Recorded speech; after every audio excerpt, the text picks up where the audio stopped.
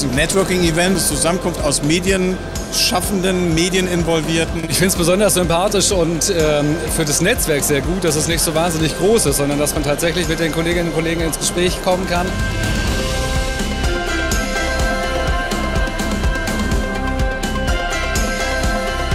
dass wir zukünftig hier mit so einer Messe echt ganz vorne sind in Deutschland. Das ist echt schön. Man kommt nach Hause, trifft sich mit bekannten Freunden, mit der Community und man betreibt Brainstorming, kreiert neue Ideen, diskutiert wirklich mal in Ruhe. Die Messe ist gewachsen, noch interessanter geworden. Trotzdem ist es nach wie vor eine schöne, übersichtliche Messe.